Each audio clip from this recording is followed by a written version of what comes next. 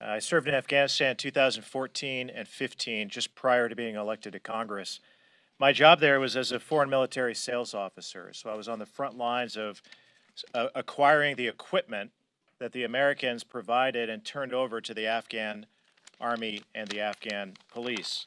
I'm going to read to you um, what uh, is so painful for me and so many other, other Afghan veterans who served in that capacity and others who served as a part of the train, advise, and assist, equip effort uh, in helping the Afghans. We now know that due to the negligence of this administration, the Taliban now has access to over $85 billion worth of American military equipment.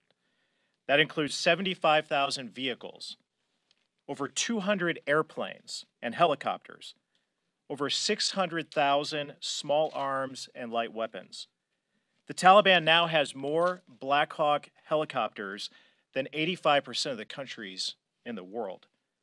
But they don't just have weapons, they also have night vision goggles, body armor, medical supplies, and unbelievably, unfathomable to, unfathomable to me and so many others, is that the Taliban now has biometric devices which have the fingerprints, eye scans, and the biographical information of the Afghans who helped us over the last 20 years.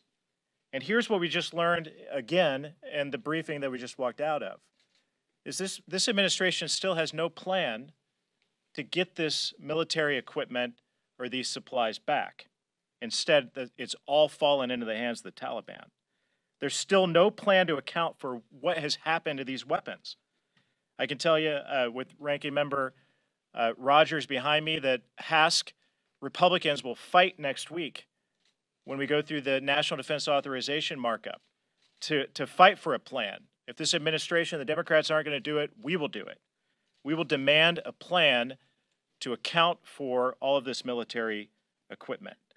But here's not uh, here's what I'm concerned about even more than the Taliban acquiring these weapons. It's that we know that Al Qaeda and ISIS K still exist and are growing in Afghanistan, and eventually they acquire these weapons. And as I said before, if any American is harmed or killed and not safely evacuated, or if any of this military equipment or weapons are used to harm or kill an American, the blood is directly on Joe Biden's hands. What's also painfully clear from the briefing that we just walked out of is that behind closed doors, the Biden team tells us one thing. They, they admit mistakes. They know this is a dangerous situation going on in Afghanistan. And President Biden tells us something different. He tells us that everything's okay, that it's under control. So either Joe Biden is lying to us or he's not in touch with the team that just briefed us in the room. And that